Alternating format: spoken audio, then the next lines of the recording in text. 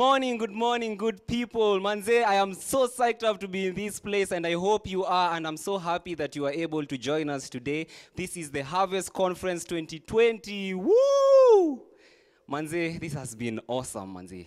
We've been waiting for this for a long time since the last Harvest Conference to this. So we'll be talking about focusing on Christ. That is our theme from the book of Philippians, chapter 3, verse 13 to 14. And today we are going to focus on an attribute that we see in Christ Jesus. Isn't that wonderful? So I'm going to take you through this attribute that I took upon myself. But before going deep to it, I'm going to, we're going to look at some of the people that also had this attribute in the Bible that we talk, that we read about. So the attribute is excellence. We see excellence being portrayed by Christ in everything that he does. We can see how he portrays this in his communication with the Pharisees. We can see how he portrays this in his teaching to the disciples. We can see how he portrays this in his daily prayer sessions. Each and every single day we see him going somewhere, taking himself apart from his people and going to pray just to have a alone time with his father. And we can also see him learning in excellence. Where do I get this? I get this from the book of Luke, where we are told that Christ himself, the baby, the baby Jesus, now, now before he was called Christ, the baby Jesus himself, he is left in the temple in Jerusalem. He decides to remain behind. After the parents left, they looked for him for three days, and on the fourth day is when they got him. And we see, and it's written so well in the book of Luke, that we are told that Christ, that Jesus, the child, was listening and asking questions to the teachers of the law. That is something really profound because we see in the, in the Bible still we are told about how Paul was saying that when he was a child, he spoke like a child, he thought like a child. But we see Christ, him listening first, meaning that actually he had to listen so that he can think and then he can speak. So we see excellence portrayed at such a tender age. And that is something that we need to understand more, more and read more and see more about Christ. And we can know that for certain and for sure that Christ was able to do all these great things that he was able to do because of a a portion of excellence that was in him. And so we are going to go on and look at some of the other examples. People like Daniel. We can see this in the book of Daniel, chapter 6, verse 3. Allow me to read. And it says, Then this Daniel distinguished himself above governors and satraps because an excellent spirit was in him. And the king gave thought of setting him over the whole realm. We know about this story of Daniel. Daniel has ha, worked with three kings. Like you can imagine, like a, a- a king comes and overthrows another king, and still Daniel is placed at higher place. Like you can imagine. And we, if we could like go back a bit on the story of Daniel, we see King Nebuchadnezzar telling, giving an advice and is give, giving a word that may you go to the people of Israel where we, they, are, they were kept in captivity, and they are, and he and he tells them, bring me these people who have these criteria. And Daniel, Shadrach, Meshach, and Abednego were the only people that met the criteria that the king gave. You can imagine the level of excellence these people had, these people portrayed, and we now we can see Daniel. We are told that he was good in the things of the world and in the things of God. Like there's a place, there's a, there's some excellence that is seen in this thing. There's an excellence that is seen in this in, in the life of, of Daniel. Another person that we see is Paul. Now that we are focusing on the book of Philippians, chapter 3, verse 14, the first verse 13 and 14, we see that Paul decides that I will not look on the things that are behind me. I will leave them and I will press on.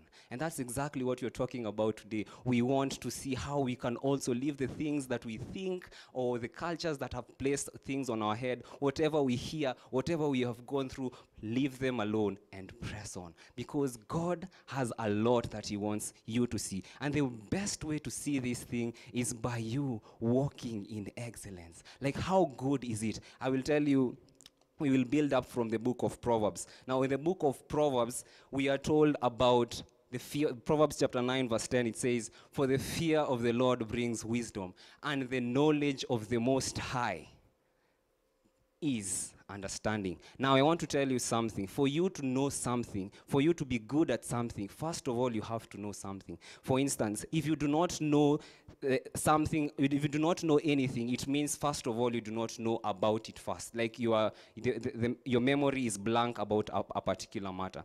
For instance, if you want to know about God, like the Bible is so clear as it says that First of all, it is the fear that brings the wisdom. But for you to get the knowledge, you have to know about the person. If I want to know maybe about maybe a friend of mine, I will have to spend more time so that I can know them. And by me knowing them, I get to get the understanding about it. So you can imagine that it all starts there. So if you are tackling about excellence, it has to start from a place that we know what exactly excellence is. And we see excellence, excellence being portrayed by Christ. We see excellence being portrayed by also the people who, who came before Christ. And these are the things that we are supposed to know and go deeper into the word. We need to understand that even as the book in the book of Romans chapter 15 as it says that the people of the past the things of the past were written so that they can give us encouragement and patience. So we need to understand how can we then attain this excellence. And we can, we, we can go through some of the scriptures, like we see some examples in Paul. Uh, allow me to take you to the book of Philippians, chapter 3, verse 8. For it says, Yes, indeed, I also count all things loss for the excellence of the knowledge of Christ Jesus, my Lord, for whom I have suffered the loss of all things and count them as rubbish that I may gain Christ. Now, here Paul is talking about he, that he has kept, he has thrown everything else and he, he counts them as rubbish just for the excellence of the knowledge of God. Now, he, he is portraying excellence in knowing God, meaning that if he gets, like how we have, we've just talked about in the book of Proverbs, chapter from, from the book of Proverbs chapter 9 that he now now now it is about you getting the knowledge of the most High that you'll get the understanding. Now here we see Paul portraying excellence in the knowledge of Christ meaning that he wants to know more about Christ. And that's why we can we keep on uh, talking about Paul each and every single time because he had the understanding he had the knowledge about Christ because it comes from time. Because when you keep on interacting with the word of God now the understanding becomes better and better and the wisdom is even shown more because with wisdom now is the in wisdom you can be able to apply the knowledge that you have. You can only be termed a wise man by the knowledge that you apply. So we need to we need to apply this in our lives that we need to be excellent just as christ was we are told to that the, the, the body we are told about everything in the in the world that we need to do everything according to how christ did. Like we see the, about the seven the fivefold ministries that god Christ brought them to presented them to us so that we could be for the edification of the church. Now you can imagine that even unto our lives, that's the same same thing that we are supposed to apply. So I thank you for every single thing that we have done, and even as we continue, I want you to know that we are supposed to apply excellence in every single thing that we do. There's something we're told as believers, and I want us to encourage ourselves with these words. Uh, if you could just allow me, we go together into the book in the book of Colossians, chapter 3, verse 23. This is exactly what the word of God tells us from the book of Colossians, chapter 3, verse 23. This applies to everyone. It says, And whatever you do, do it heartily as the Lord and as, as, as to the Lord and not to men. Uh, in NIV version says, what, Whatever you do, work it with all your heart as working for the Lord, not for human masters. As you do things for God, you have to do things umejitolea, umejituma, umejituma kabisa. Do it with excellence. Don't just do it because you just want to do something. Do something because you want to do something and be good at it. Because you are told in the book of Ephesians chapter 2 verse 10 that we are workmanship of God created in Christ Jesus. And there is a, this, this road was already set beforehand. It was already ordained for us to walk in. So do it with excellence because God has equipped you with everything that you do need. And there is something that will set you apart. And this is something that I, I want us to focus in the book of Proverbs. Th- These are the things that are going to set you apart. The book of Proverbs, chapter 25, verse 4. Va- verse Verse 4, this is exactly what says. Remove the dross from the silver, and the silversmith can produce a vessel. There is no way a silversmith, now the dross means it's impurities. That is exactly what dross means. You, can, you cannot have something good, like it cannot be pl- placed on, on a place where you sell it. It cannot go to the shop if it has impurities. It has to be worked on so that it can be sold so that it can it can go to the place of being sold. Now we have to understand that we are supposed to do things and in order for you to remove these impurities there is a portion of excellence that you have to to apply in your life. There is something that you need to do with your life. You need to focus on yourself. And this time, and this time things are better because we are focusing on Christ. We are supposed to focus on Christ, and Christ will help you because He did it. We are told in the book of Hebrews that He has gone this path before us. So you can imagine that we already have someone who has the experience. Every single thing that we go through, He has gone through, even more. Now we can go through, we can walk with Christ, and we can be able to go past all these things. And these dross and all these impurities will be taken away. Now, that is walking in excellence. By focusing our eyes on Christ, we need to continue moving on and soldiering on without stopping, pressing on in every single thing that we do in our lives. Sijui nini imehappen kwa life yako, mambo imekuwa ngumu. No, no, no. Do not stop there. Not, do not hear, do not let the people, the opinions of people stop you. Your father has a lot for you. Your father has a lot, a lot in store for you. So you need to keep on reading as we if, ca- can just go back to exactly what I said in the book of Proverbs. Now, the, for you to be good at this thing, and hear me out, for you to be good at this work, to be good at everything that you need to be, that everything that you want to do in this life, you have to have the knowledge first. It all begins with knowledge. So, in your knowledge, do it excellently. Do it excellently. I'm going to finish with some of the scriptures that I'm going to read here, and I really hope that it's going to bless you. And uh, if you could just go with me in the book of Timothy, Second Timothy, Second Timothy chapter 2, verse 15. Uh, here's what the word of the Lord tells us. It tells us this. Do, this is Timothy being talked. This is Paul talking to Timothy, and he, he instructs him this: Do your best to present yourself to God as one approved, a worker who does not need to be ashamed and who correctly handles the word of truth. I want us to read in NKJV version. This is exactly what it says Be diligent to present yourself approved to God, a worker who does not need to be ashamed, rightly dividing the word of truth. Wow. Just imagine, we are called to be excellent in everything that we do. But remember, you don't need to do it alone. You will get tired. It will overwhelm you if you do it alone. There is somebody who wants to help you in this task. And I'm going to finish with just one scripture, a scripture that I love that comes from the book of Philippians, chapter 4. And I know that this is a scripture that we have really interacted with for a long time. But I just want to show you the power of excellence in everything that we do. How even the Bible tells us on how we need to focus more on excellence in each and every single thing in our life.